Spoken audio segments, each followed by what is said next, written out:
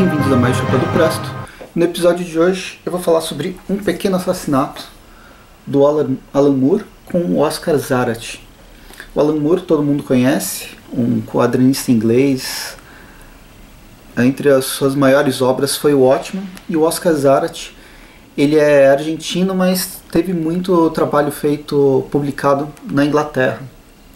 Na verdade, ele mora lá faz bastante tempo. Essa é a última publicação da editora Pipoque Nankin. Já tem mais uma engatilhada, que não sei se vai lançar em, em dezembro ou janeiro, que é o primeiro livro deles, e vai ser o livro dos contos do Conan. Tem várias imagens, uh, tá bem legal. Mas esse aqui foi um quadrinho que eles, que eles publicaram.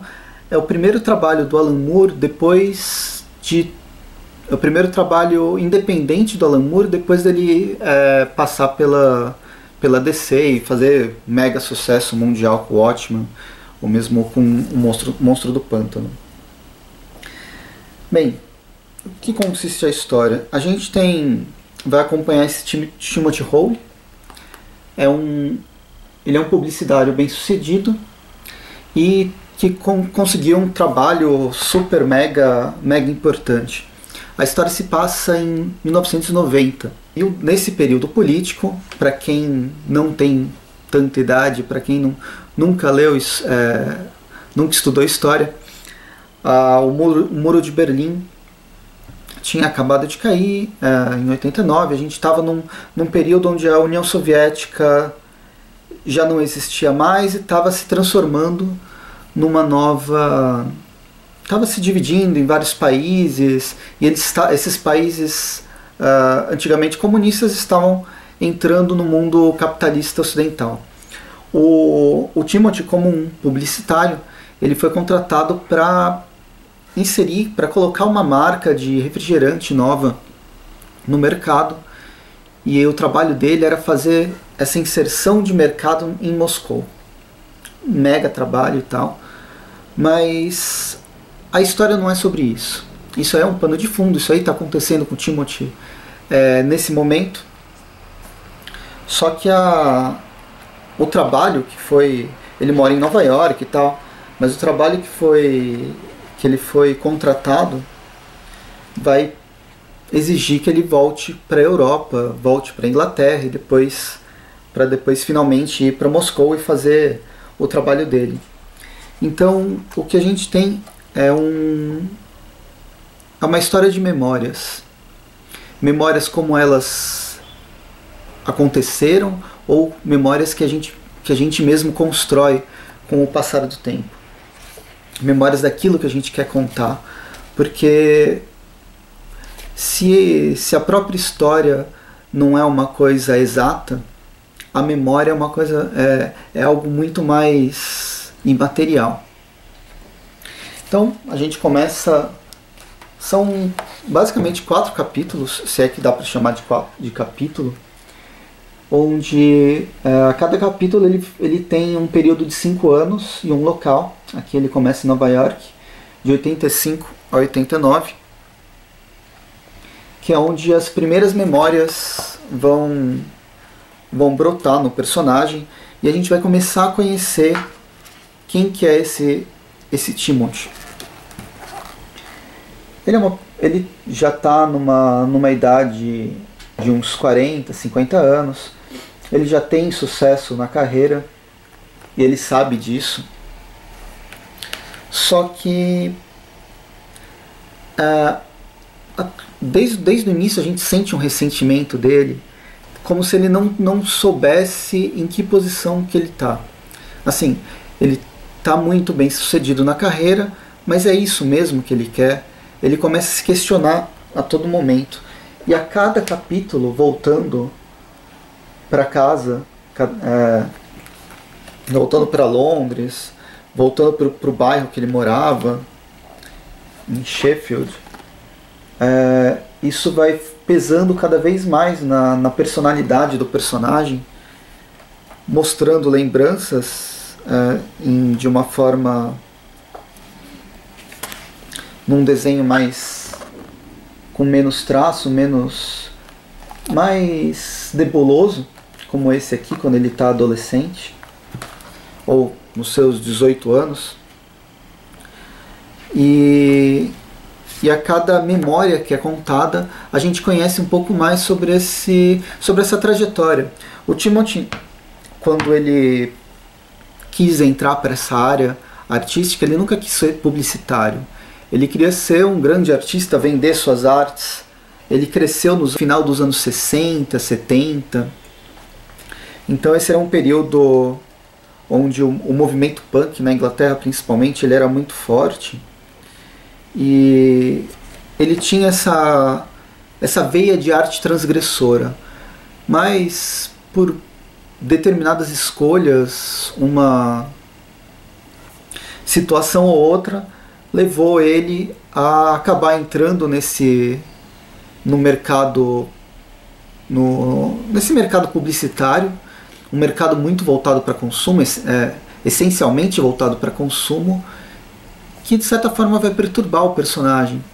Mas aqui nos anos 90, nesse momento da vida dele que ele aceita esse trabalho, é, essa perturbação já não é mais levada em conta.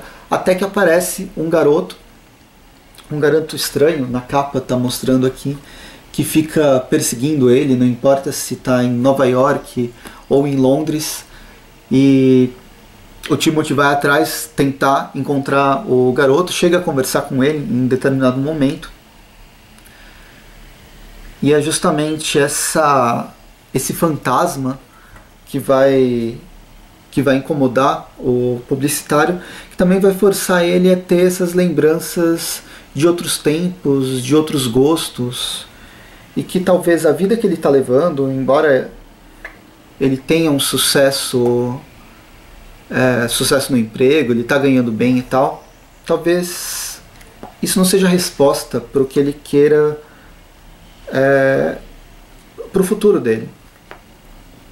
É uma vida bem solitária durante todo toda a história. A, né, nessa primeira parte, que se passa entre 85 e 89, as lembranças dele está é, tá entre 85 e 89, e mesmo o presente dele dos anos 90, ele participa de festas, ele conversa com pessoas, mas ele tem um certo ressentimento tanto da arte dele que ele perdeu, agora é essencialmente publicitário, quanto do de um casamento que ele teve. Ele acabou traindo a esposa e isso provocou a separação do casal.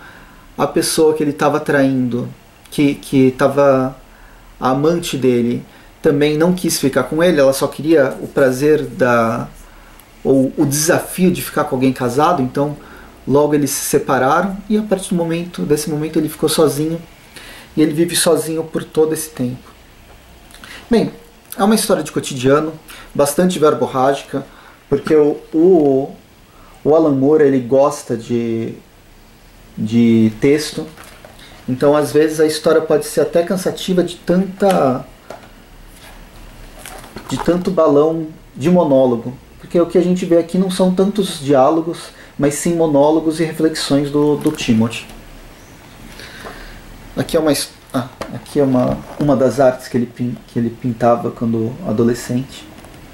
Bem representativa, anárquica, ou pelo menos punk, contra o consumismo que ele acabou é, entrando.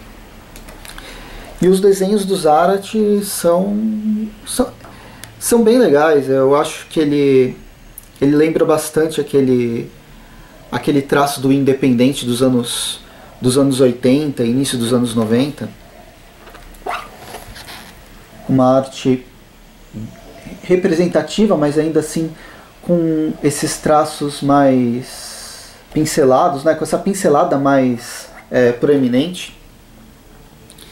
Então tudo fica meio uh, um tanto quanto embaçado ao longo da história. E esse próprio embaçamento mostrando o passado do personagem, mas também perceba que é um passado mais claro, um passado por, ma por maiores os problemas que ele esteja passando em, determina em determinado ponto ou outro, é, o próprio Timothy relembra de como essa vida era muito mais simples quando ele era mais jovem. Bem, enfim, é, um pequeno assassinato vai contar justamente a história é, de uma pessoa no seu, na sua meia idade que começa a ser assombrado pelas próprias lembranças. São lembranças essas, como eu disse no início, lembranças que ele tem ou lembranças que ele construiu e ele nem lembra se foram verdadeiras ou não.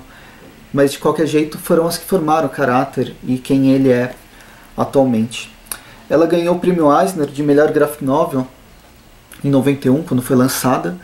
E um detalhe é que, embora o Alan Moore seja é, super conhecido, mesmo aqui no, no, Brasil, ele é super importante e influente. Essa história, um pequeno assassinato, nunca foi publicada uh, aqui no Brasil. É a primeira vez e o Pipoca Nankin está trazendo pro, pro, pra, aqui para o país essa versão.